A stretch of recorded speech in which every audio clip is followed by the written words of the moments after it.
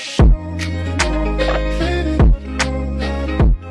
After that, we saw two duo competitions, the Luxe Cup and the World Cup warm-up, with a fantastic mix of challengers and established veterans able to claw their way up the leaderboard. The newly formed duo of Perfect Tilt and Mastoris have shown that they are not to be messed with. Speaking of another player, clutching it up, most eliminations right now, Perfect Tilt sitting on four, and they're actually, I talked about these guys in one of the Road to World Cup videos. The newly formed duo of Perfect Tilt and Mastoris, like when they first came on, they were in the top every single time, and it's been so incredible seeing them challenge up there every duos week because they were mm-hmm. always like, yeah, they were pretty good players, but the fact that they're Well, you're, you were complimenting them. Yep. Keep on. Keep I on mean, singing the their fact praises, that bro. they're always challenging, always getting high eliminations, but pressing into the late game, and they're doing it consistently. It's not like, oh, one week they're here, or like one stretch they were here, in the finals they fell off. Every single time.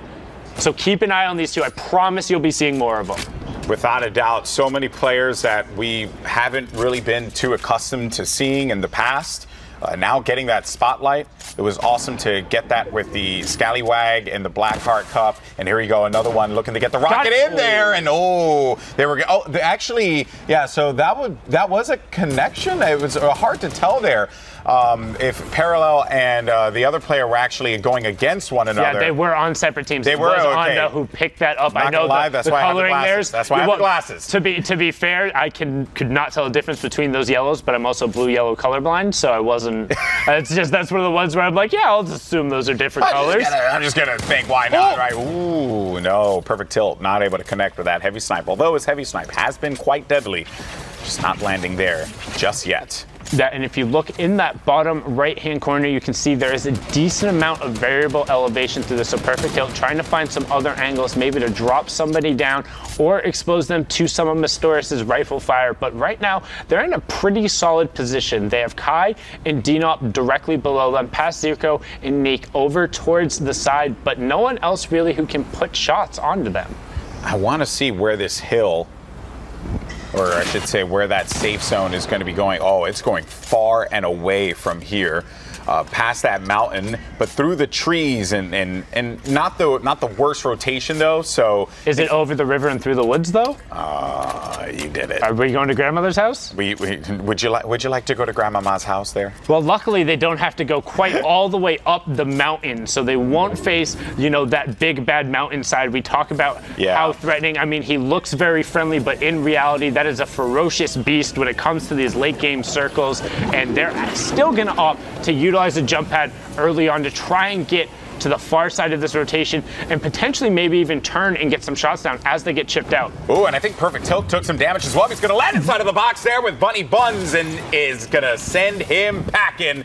We'll pick up the resources, the ammo, all of that. We'll upgrade the weaponry as well. Maybe a boogie bomb if he's feeling a little cheeky. But I think you'd want to keep that rift to go over anything else as well as the shields. And you got Addison and Acreon here who are trying to just tunnel out and recycle some of these builds. But they're getting pressured on. They have to be careful.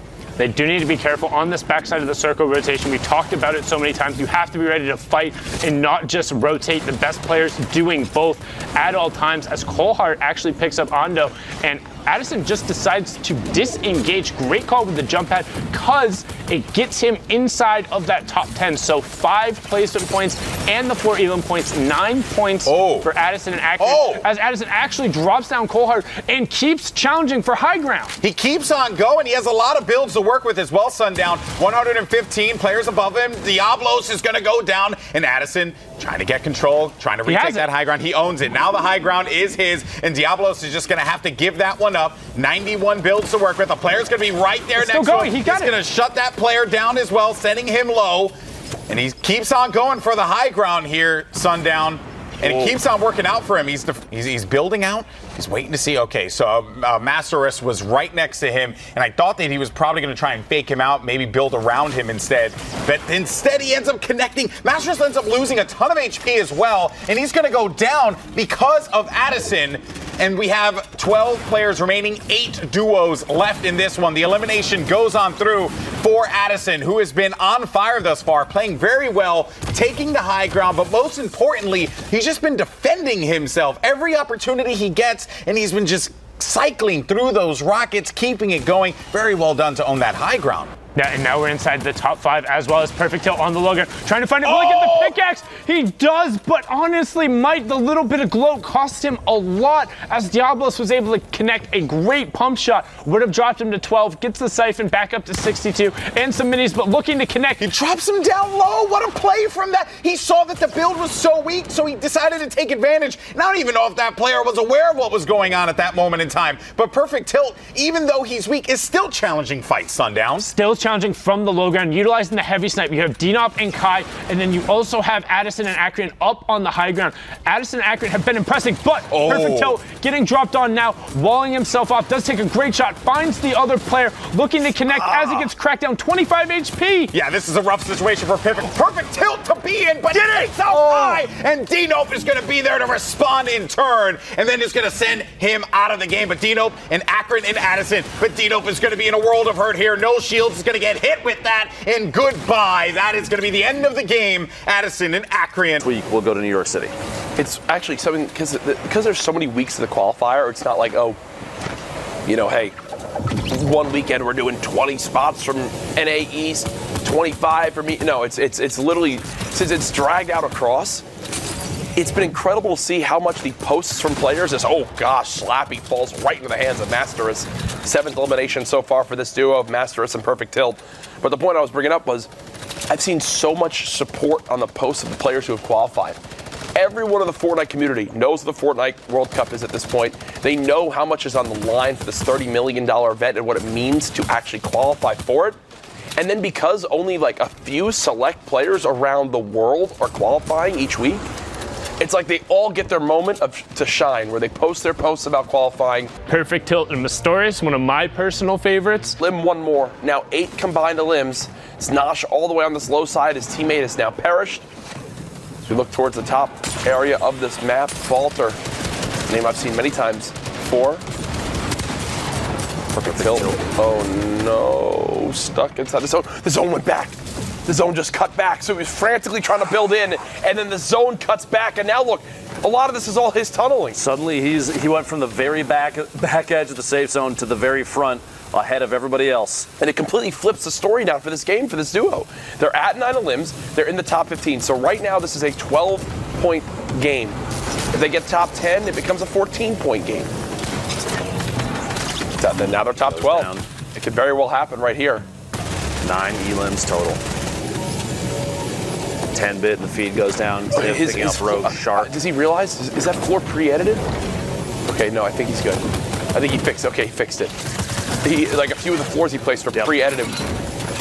Now 10 eliminations, 11th place. If they can secure one more, he was looking to get Placement. through that wall, pushing for the cheeky shot. He gets it. The shot from the pump into the SMG spray picks off another one. 11 eliminations now for this duo. Top 10 in the top right corner of your screen. 16 point game. Huge game. 16 point game up to this point.